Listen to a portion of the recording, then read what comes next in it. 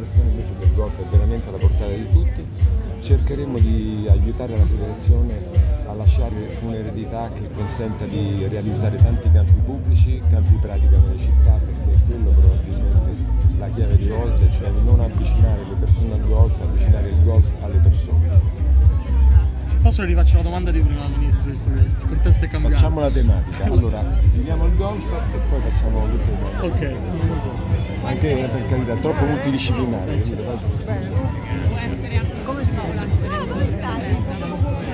Certamente sì, perché eh, il golf è internazionale, perché questa competizione è una competizione che ha significati particolari che spero verranno ulteriormente comunicati. L'Europa è una sola squadra, gli Stati Uniti comunque è un eh, soggetto dello scacchiere internazionale della ragione politica al centro, anche quindi una fase delicata come questa e mi auguro quindi che sia non solo un elemento di grande promozione con quello che farà il Ministero degli Esteri della cooperazione internazionale in quel periodo con gli ambasciatori di tutta Europa e non soltanto dell'Europa, ma che sia anche in qualche modo un contributo alla pace, ci si incontra attraverso lo sport, eh, io penso che possa essere un contributo, non dico decisivo, perché purtroppo gli interessi in campo sono quelli che ci conosciamo e a volte non conosciamo, ma un- certamente un contributo alla pace. Possiamo dire che è uno sport inclusivo, rischi per tutti.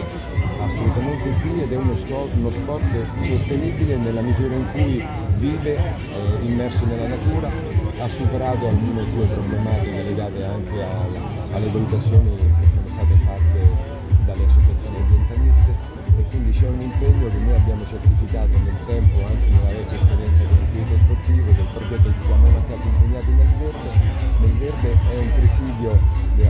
biodiversità, è un eh, utilizzo del- dell'ambiente in modo sano, quindi sono convinto che sarà un contributo anche allo sviluppo della cultura ambientale.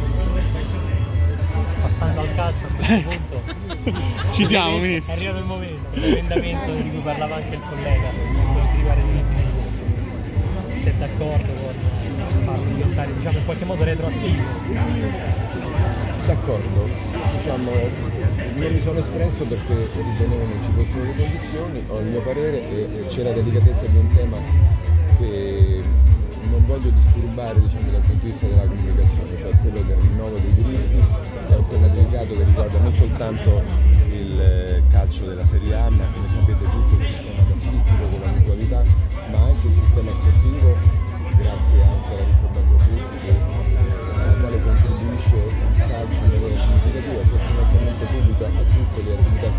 il 32% sulla fiscalità dell'anno precedente, quindi tutto quello che aiuta comunque a migliorare